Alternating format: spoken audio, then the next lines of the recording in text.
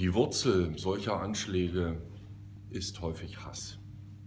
Und ich kann mir nicht vorstellen, dass das Sehen von neuem Hass und das Aufstacheln von Menschen gegen andere Menschen auf der anderen Seite wirklich ein Rezept für die Zukunft sein kann.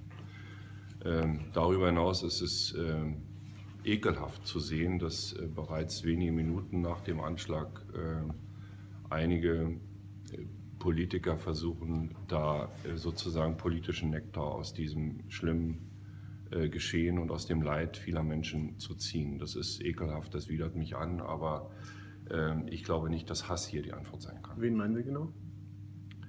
Ich glaube, dass diese Frage kann man sehr schnell beantworten, wenn man in Facebook guckt.